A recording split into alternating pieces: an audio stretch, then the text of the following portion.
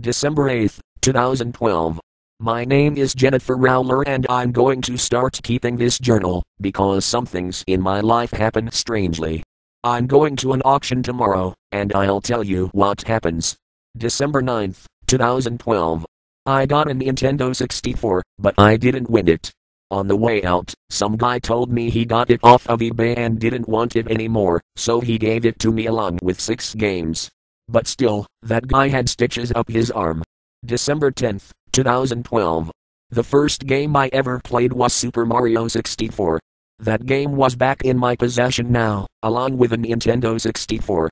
I put on the game, and the screen, where you can stretch Mario's face appeared, but he looked depressed, and a couple pixels on his face were out of place, making it look like he was bleeding.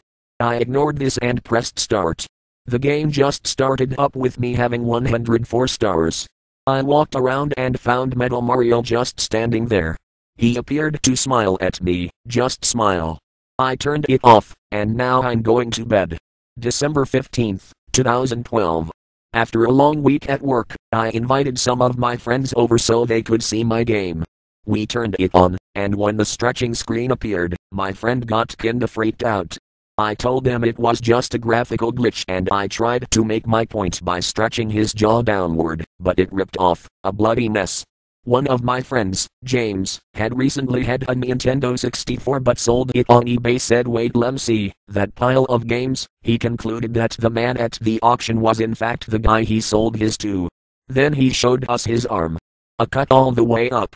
He said that the only way to get rid of the game was to fight to the end of the events, and make the chain continue. So we did. Metal Mario killed all the Toads, Bowser, Mario, Yoshi, and Peach. So I sit here now posting the games and the system on eBay.